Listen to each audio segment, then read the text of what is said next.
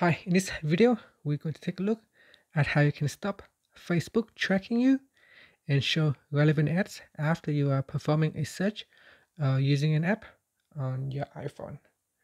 Now, first, we're going to launch the Facebook app. And on uh, Facebook, you want to tap on this option key.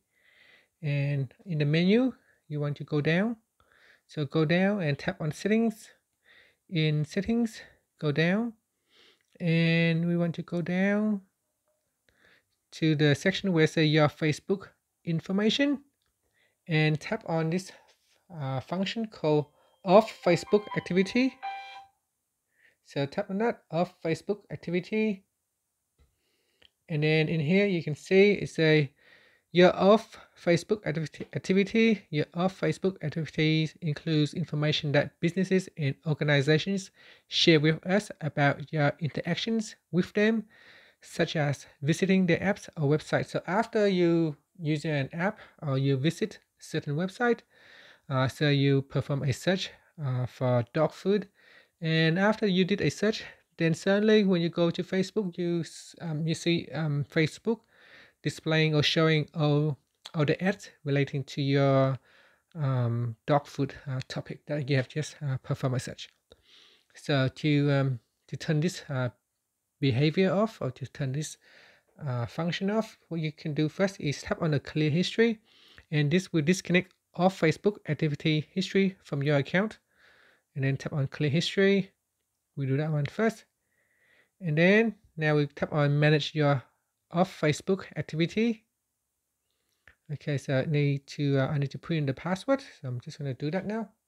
Okay, next you can also tap on the clear history button in here as well. And in here you tap on the option key at the top, then tap on manage future activity. And then down here tap on manage future activity.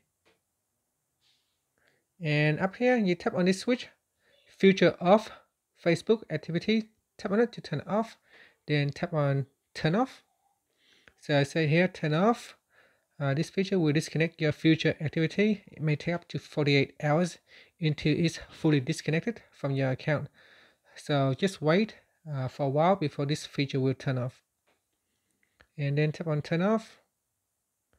And that is now off. So it's an activity that you have turned off. Just tap on that to, uh, to check it out.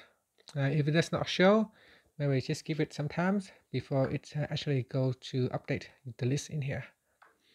And that's it. So that's how you can uh, uh turn off the Facebook tracking and uh, stop them from uh, keep showing you the relevant ads. it's kind of spooky that after you use an app or you are thinking about something and then all the ads just suddenly shows up. So you can do that to switch it off and that's it. So give that a try and see how you go. Uh, thank you for watching this video. Please subscribe to my channel for more videos